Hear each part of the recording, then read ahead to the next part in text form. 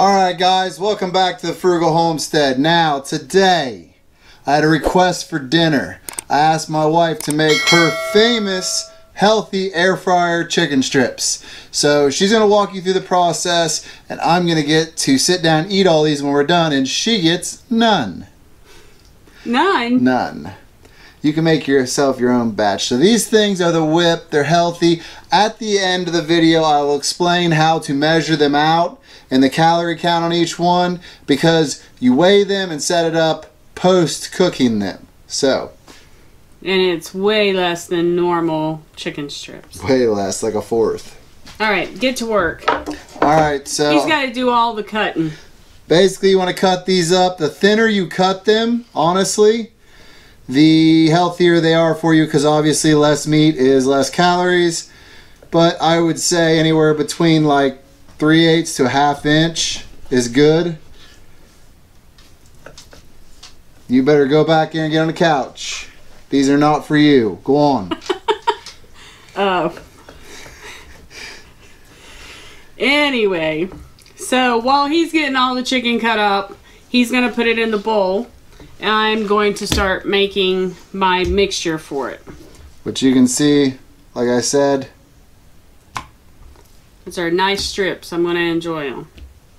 you're not going to enjoy anything. This is about an eighth of a cup of almond milk. And we're just going to pour it over it and let it start getting all the chicken moistened. And this is 30 calorie almond milk, so that is like like 8 calories or something. Yeah, it's almost nothing. Half a cup of flour. I just use regular flour. Uh, you can use self-rising or you can use all-purpose, makes no difference. Mine is all-purpose that I have here. Or almond or coconut, whatever whatever you like. Just remember to look at your calories because different flours have different calorie counts. All right, I'm gonna put one teaspoon of seasoning salt.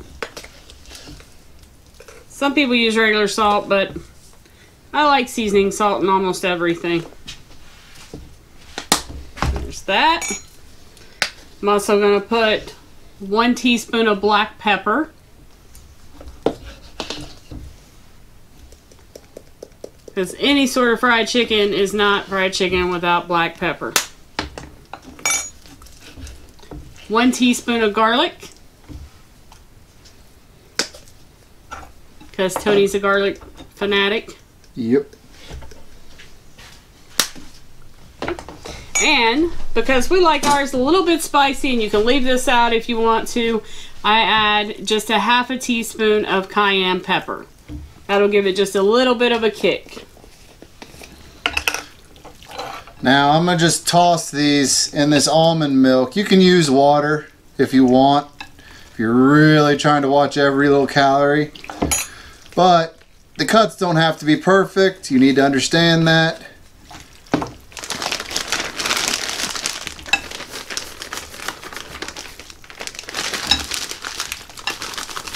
Now, as you can see, I put all of my breading and my seasoning in a Ziploc baggie, and that's just because it's so much easier. You can do this in a container or on a plate, but it's so much easier to coat them if you put it in a baggie. Yep.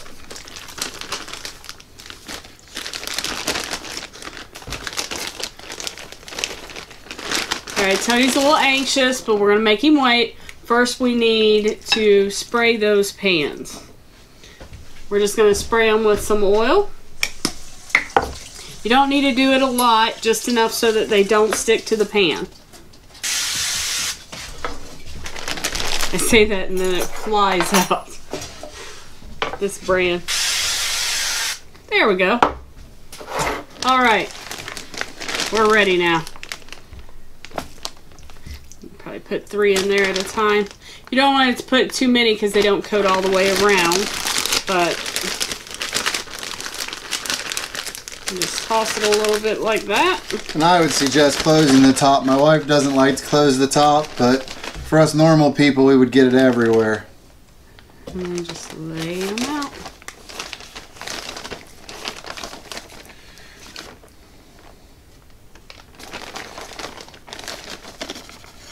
By doing it this way, it really lightly bread puts breading on the chicken strips, so it's not real heavily coated.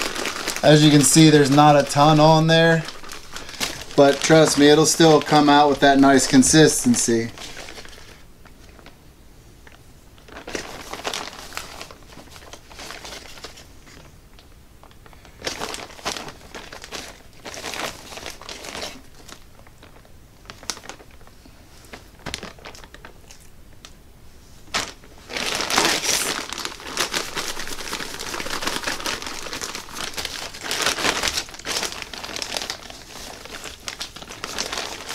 So what's your favorite sauce to use with these?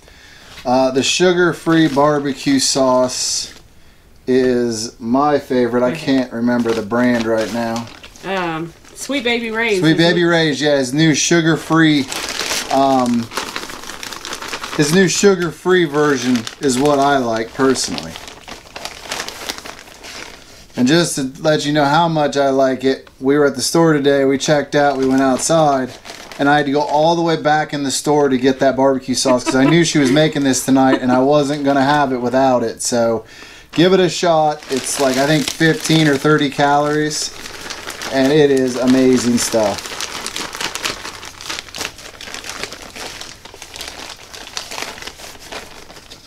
Now, mind you, you're going to want to make this to fit your family size. I would say three or four strips a person with sides or a salad is probably all you really need.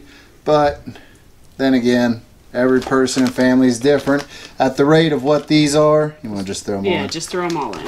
At the rate of what these are, it almost doesn't matter if you have a plate full of these.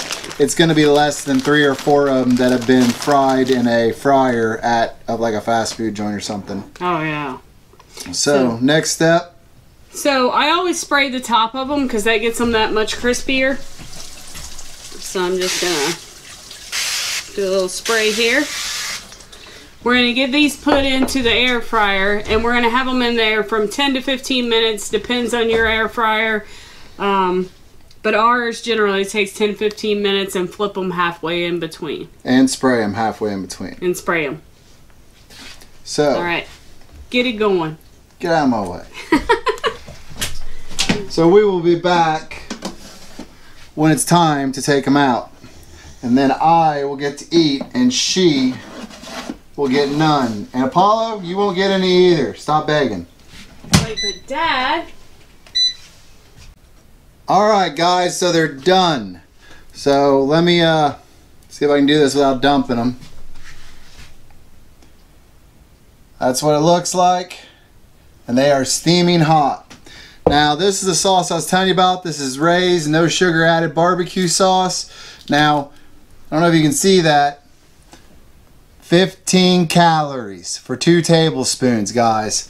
This is the way to go because this is already low calorie but then you can add on to have low calorie. So, first of all, let's do the fun part. We'll do the, the calories and stuff after. I want you guys to.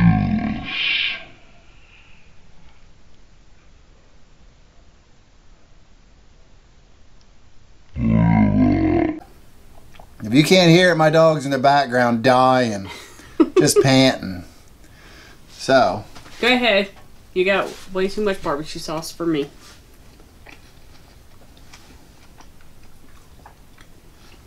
Hmm. Now we ended up cooking ours for about 14 minutes, but look at that. That is super good. Now we got our scale here. 1.4, 1.6, 1.7. Hey, you did pretty good at that. So they're not going to be perfect, but we ended up with 24 strips in this batch we made. It all depend on what you do. Don't worry about the weight of the breading and stuff. It's not enough to matter in this situation. So it's 46 calories per ounce of meat. I just weigh it afterwards because that's what you're supposed to do is have cooked chicken breast when you use your tracker and you start checking it. Now, she used 200 calories worth of flour to bread this. So if you take the 200 and divide it into the 24, add the weight and all that, you we've decided you'd come up with an average at most at Um, 90 calories. 90 calories. Now, to put this in perspective, these are not as much meat as, say, a KFC strip, like their their actual deep fried one. But one KFC strip, honey, is 260 calories. 260 calories, guys, for one strip. We're telling you these are 90. 90, guys, and that's that's the biggest of these is 90. Some of these are more like 70 or 80. So, with that said, this is one of those things where you can go out and eat six or eight of these and not feel bad, honestly, because you're having a five or six hundred dollar meal. I mean, five or six hundred calorie meal. Five or six hundred dollars if you made that kind of money. But it's a five or six hundred calorie meal. Basically, if you want to get really easy, each one of these strips that I cut up, if you added it up at 100 calories, five or 600 calories is perfect for a dinner. Mm-hmm.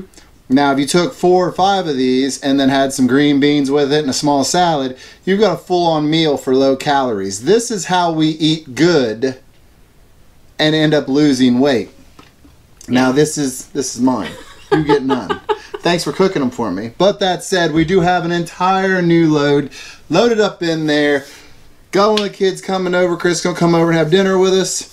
So, with that said, I'm going to tell you now try this recipe. Come back to the comments. Let us know what you think about it. The air fryer is your best friend. Mm-hmm. Think about coming home. You want to make dinner for your family. You have your chicken thawed out. You slice it up, throw it in there. 15 minutes later, while that's cooking, you can be throwing some sides in the microwave or in the steamer. You know, quick, easy, efficient dinner. Don't forget the sugar free barbecue sauce or sugar free ketchup, whatever you like. But eat healthy, but damn it, enjoy it. don't don't not enjoy it. You don't it. have to starve. There's no point in starving. There's no point in eating food you don't like. Make it fit what you want. This is, mm-hmm. I guarantee you, any kids will tear this up. They get their first bite, it's over. They will demolish it. And you can feel good about feeding it to them and eating it yourself. So you're not having to have something different from them. With that said, if you haven't already, and I don't know why you wouldn't have, go down, hit that subscribe button so you can see all of our upcoming videos. Make sure while you're down there you hit the notification bell so you get a, a notification every time we put out new and fabulous content. Make sure you give the video a like for the YouTube algorithm so it gets this video put in front of more eyes so more people can enjoy these good recipes and we will. See you in the next one. Now good job. Now make me my other batch. That batch. Okay, I'll take the hot ones.